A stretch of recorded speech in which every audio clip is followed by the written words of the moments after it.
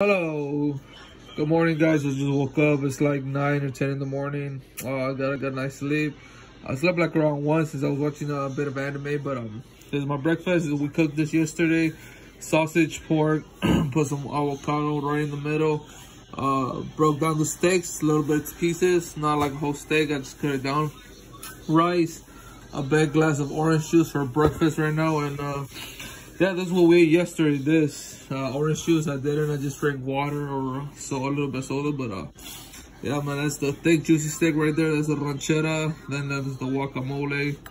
Uh, that's the pork sausage and uh, rice. Uh, I didn't put beans today, but uh, yeah, um, yesterday I pretty much uh, my eyes got tired because I was using my glasses. I'm still not used to them. I thought I was, but never mind. And um, um, I upload some Call of Duty videos. Um, not much, you know, just we're gonna eat breakfast and uh, we'll see what we do today and uh, work out. Uh, we're probably gonna do chest today. And uh, yeah, oh, I'm saying I'm at a 20% battery, but uh, yeah, that's pretty much it.